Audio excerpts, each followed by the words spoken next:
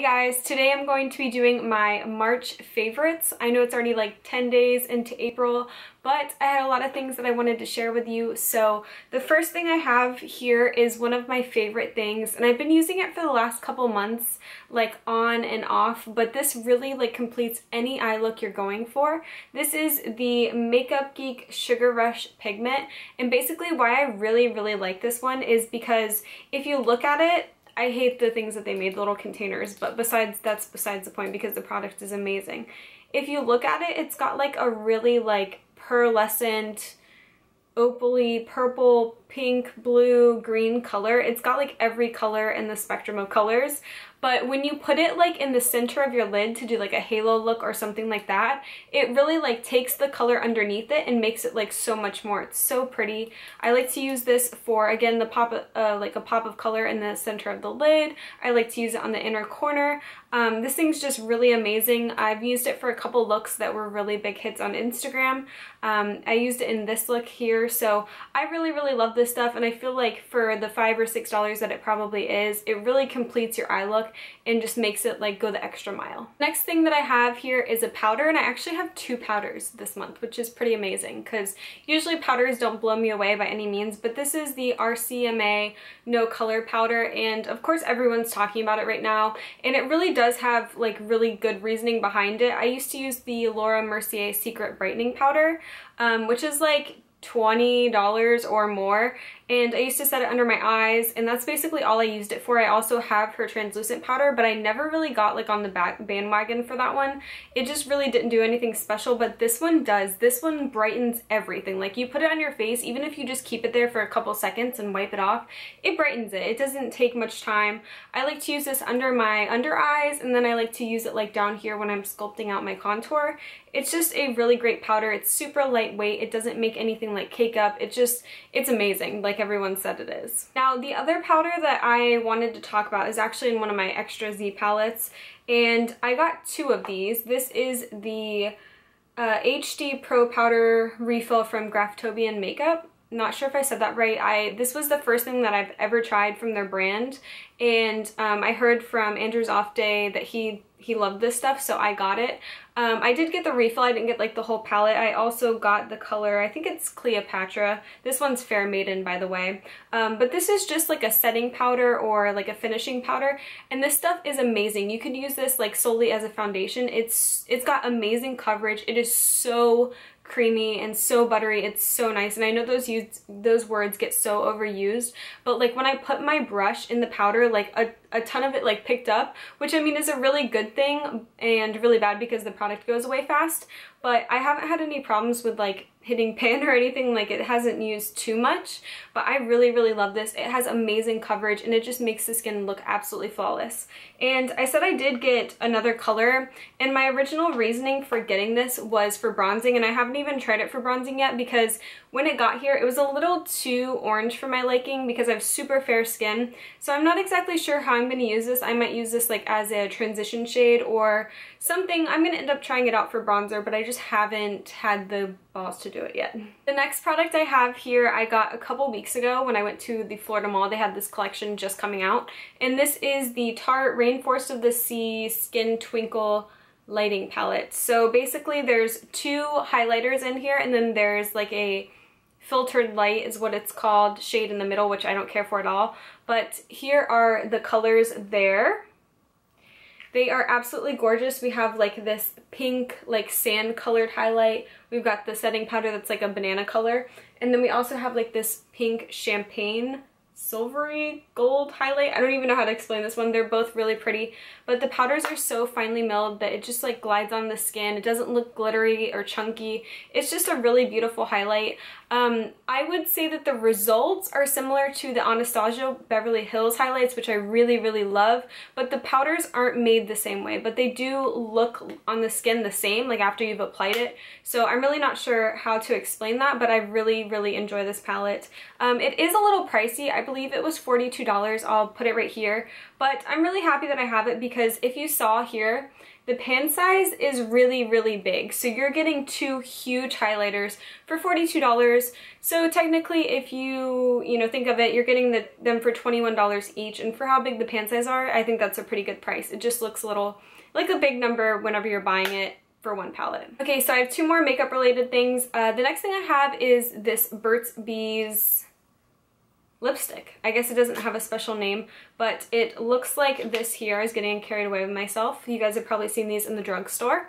Um, I saw these, I didn't pick them up, and then my brother ended up getting them for me. He got three different shades. I got like suede splash, I got nude, and I got another color that I can't remember. But my favorite one is the color nude, and on the bottom of them, the color like shade that it shows is not accurate at all to what the actual product looks like. On the bottom, it looks like an almost orange color. And if you see it there, it's like this really pretty nude color. And I just love this because it's like a My Lips But Better lipstick. And whenever I put it on, like it's super moisturizing. So I thought it was gonna kind of wear off pretty fast um, with it being like a drugstore product and with it just being like this sheer lipstick. But it actually like kind of stained my lips, not in a bad way, but I was drinking a smoothie two classes in a row and I noticed that there was stuff coming off on the straw, but nothing was really coming off on my lips. Like the color had stayed. It didn't look crackly. It didn't like in accentuate my dry spots. It didn't do anything bad. I really loved it. And I wore it again last night and I loved it just as much. Um, I think these are really, really great. They're super moisturizing and they feel really light once you put them on. So these are a win and if you like the other colors that they have in the collection, they don't have too many nude colors. They had some kind of like a lot of like berry, deep berry colors. So if you dig those, and those are awesome, but this nude one is amazing. All right, so my last favorite for the month of uh, March, for the month of March, is this brush. And this is the Antonym, I think is how you say it, the Antonym number two brush, and I'm not exactly sure what this is intended for, but I like to use it for a blush, as you can see there. But basically, it's like got this wood handle, it's got this black little piece here, and it's really like, at the bottom, it's really like it's tight here and then it kind of like fluffs out. I really like it. It's got like this paddle type bottom and then it like filters out there. I don't know if you guys can see it or not, but it's absolutely gorgeous. I really, really like it. And it's amazing for applying blush because you can like get that little paddle right there and then you can like kind of blend it in with your contour. It's really, really nice.